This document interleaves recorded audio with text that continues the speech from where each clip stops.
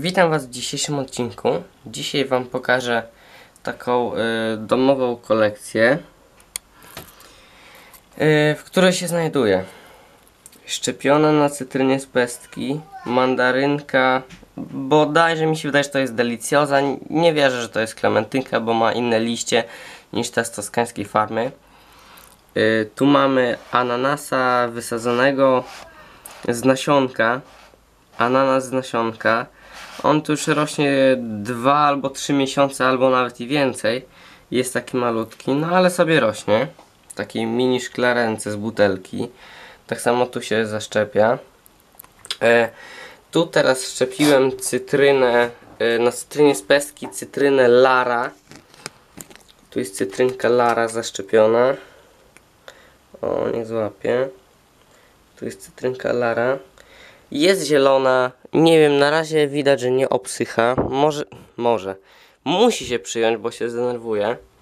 Jeżeli się przyjmie, to będzie fajna cytrynka na takim prostym pniu. Bardzo fajna cytrynka. A ten odrost to jest z tej y, jednej cytryny, tej dużej co miałem. Mam dużą cytrynę z pestki posadzoną. To jest ten główny pień. Ukorzeniłem ją, posadziłem i nie muszę czekać dwóch lat, aż będzie zdrewniały, bo ukorzeniłem to. Potem ona wybija kolejny, kolejne ukorzenie. Mam cały czas darmowe, darmowe mam te yy, yy, podkładki po prostu. No i tu jest ta zaszczepiona cytrynka. No i to by było na tyle.